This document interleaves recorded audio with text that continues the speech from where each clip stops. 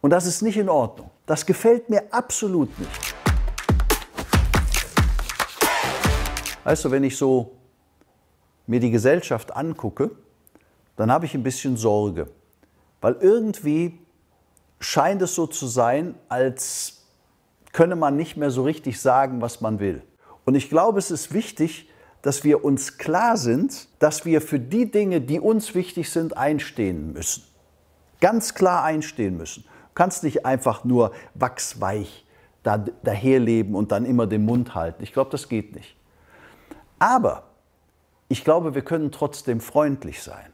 Wir können klar unsere Meinung sagen, aber trotzdem können wir das freundlich tun. Wir müssen andere nicht verletzen. Aggressivität ist ein wichtiger Bestandteil unseres Lebens. Aber einige der aggressivsten Menschen, die ich kenne, sind sehr freundlich aggressiv. Das heißt, aggressiv in dem Sinne, dass sie ganz aggressiv für ihre Meinung eintreten, aber mit freundlichen Worten. Wir müssen andere nicht beleidigen, wir müssen andere nicht verletzen, um unsere Meinung zu sagen.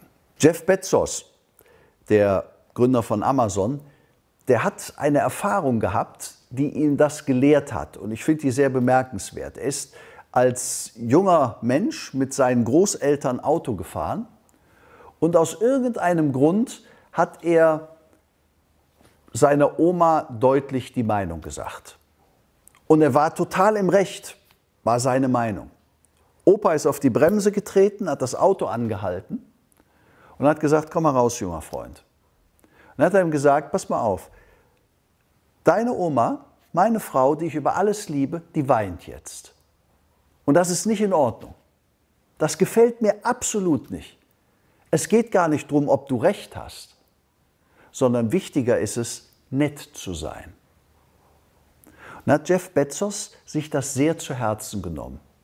Und wenn du seine Unternehmenspolitik siehst, ich will sie nicht beispielhaft anführen, aber sie ist sehr erfolgreich und Jeff Bezos ist gleichzeitig immer freundlich. Du wirst den nie ausgeflippt erleben. Was ich dir sagen möchte ist, auf der einen Seite sollten wir klar unsere Meinung vertreten. Auf der anderen Seite aber sollten wir freundlich sein.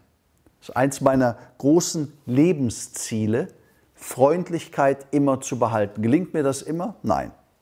Ich sage dir, es ist ein Lebensziel. Und vielleicht ist es auch ein Ideal, dem man sich immer nur weiter annähert und nie völlig erreicht. Aber ich glaube, es ist ein wichtiges, ein wirklich wichtiges Ideal. Und beide Punkte, die wir heute miteinander besprechen, sind mir gleich wichtig. Das eine ist, sei kein Duckmäuser und das zweite ist, sei freundlich.